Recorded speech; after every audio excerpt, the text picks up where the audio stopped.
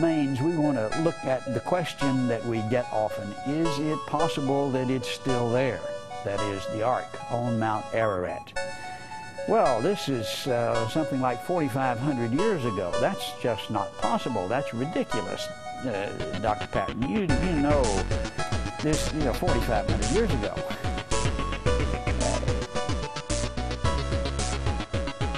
Our age is retrospective.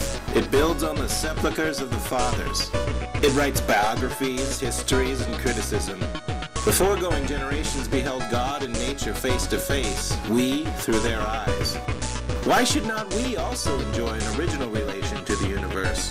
Why should we not have a poetry and a philosophy of insight and not of tradition, and religion by revelation to us and not the history of theirs? Embosomed for a season in nature, whose floods of life stream around and through us and invite us by the powers they supply to action proportioned to nature. Why should we grope among the dry bones of the past, or put the living generation into masquerade out of its faded wardrobe? The sun shines today also. There is more wool and flax in the fields. There are new lands, new men, new thoughts. Let us demand our and laws and worship.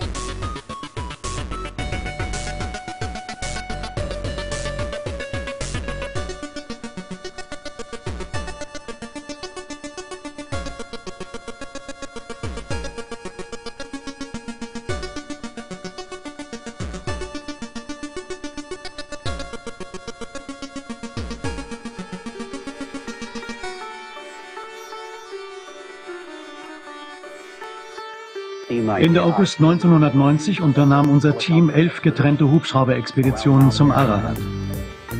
Laut Satelliteninformationen sollte dieser Abschnitt unser Ziel sein.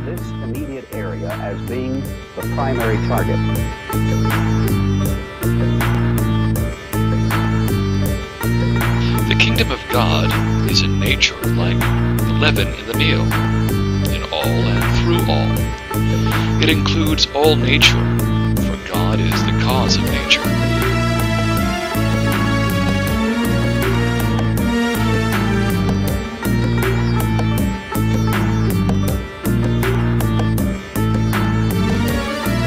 Ende August 1990 unternahm unser Team elf getrennte Hubschrauber-Expeditionen zum Ararat. Laut Satelliteninformationen sollte dieser Abschnitt unser Ziel sein.